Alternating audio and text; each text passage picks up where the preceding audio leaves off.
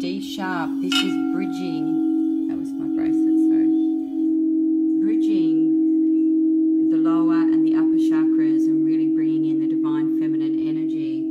The peridot is grounding, centering, clearing negativity, clearing emotions, activating the heart womb. And then the beautiful Sedona, wow, the sacred Sedona platinum is the F sharp. This is the true There is so much you could use, uh, so many different ways you could actually use